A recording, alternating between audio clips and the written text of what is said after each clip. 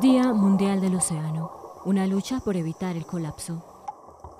Fuente de vida, de sustento económico y hasta de recreación. Los océanos son el corazón del planeta Tierra. El 70% de su composición es agua.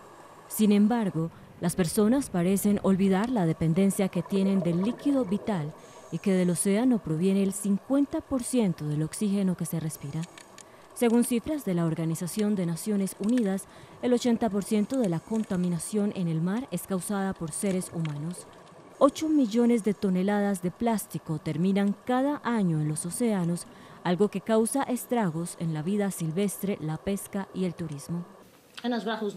Una roca en el mar no es solo una roca.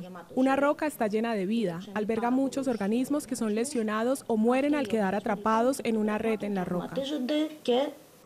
La contaminación por plástico en el mar le cuesta la vida a un millón de aves marinas y a 100.000 mamíferos cada año. La verdad es que el problema es muy serio. Déjenme decir que solo en estos dos días de actividad que llevamos, las redes que recolectamos cubrían superficies enteras de arrecifes. No es casual que encontremos muchos organismos vivos atrapados en estas redes.